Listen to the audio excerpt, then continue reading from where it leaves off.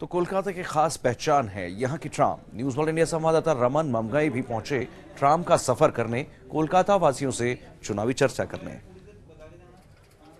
ये कोलकाता की पहचान रही है। कोलकाता की ट्रॉम एकदम व्यस्त सड़कों के बीच से चलती हुई एक ट्रेन जिसके अगल बगल आपको दुकानें दिखेंगी। चौतीस साल लेफ़्ट का शासन रहा, वाम दलों का शासन रहा, और कई लोगों का मानना है कि कोलकाता के विकास की जो रफ्तार है, वेस्ट बंगाल की जो रफ्तार की रफ्तार है विकास की कुछ इसी ट्रॉम की तरह चलती रही। ट्रॉम जिसमें आप चलते चलते उतर जाइए और फिर चढ़ जाइए।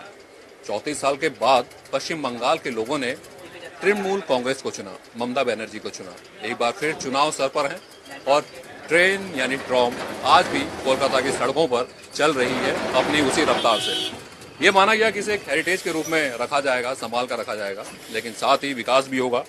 काफ़ी सारे लोग हैं। सर, कितने साल हो गए आपको कोलकाता में रहते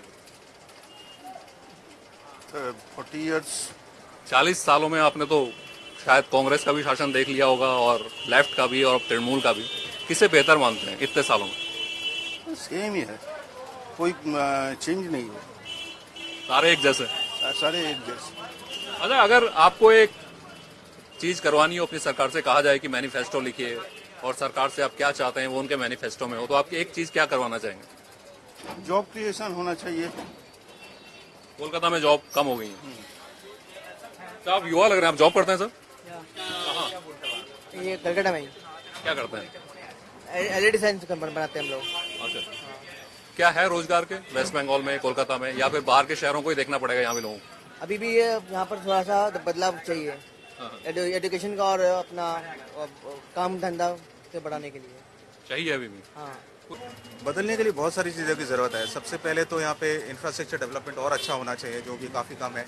स्प्रेड होना चाहिए, जैसे सॉल्ट लेक सिटी बनाया था, उसका प्रॉपर यूटिलाइजेशन नहीं है। अभी भी इंडस्ट्री कंजेशन हो जाती है रोड पे। जॉब चाहिए लोगों को मनी चाहिए, पैसा चाहिए। सरकार के पास भी पैसे नहीं रहते, वो डेफिसिट में चलती है बीस बीस हज़ार करोड़ के। तो उनको भी सेंटर से काफ़ी सपोर्ट चाहिए। और भी यहाँ से लोकल जनरेशन चाहिए फंड्स का, ताकि वो यूटिलाइजेशन करें। वो कुछ भी नहीं है। बाकी सारे देश में सब जगह यूटिलाइजेशन होता है, बंगाल में नहीं होता। कोई खास मतलब नहीं। कितनी फैक्ट्रियाँ बंद हो गई, उन्हीं के राज्य में सब कुछ बंद हो गए। और आज भी बंद ही रही तो कोई वैसा प्रोग्रेस नहीं हमने देखा जो कि मतलब। सब ऐसे ही चल रहा है। चलिए, ये कोलकाता की टॉम है, जो कि कोलकाता की पहचान भी है। और यहाँ पर लोगों का कहना है कि बस ये उसी रफ्तार से चली जा रही है। इसे हेरिटेज बना के रखिए, कोलकाता को हेरिटेज सिटी बना के रखिए। लेकिन साथ ही साथ इसे विकास के पंख भी दीजिए। कैमरामैन मुकेश के साथ रमन अंगाई न्यूज़ वर्ल्ड इंडिया कोलकाता।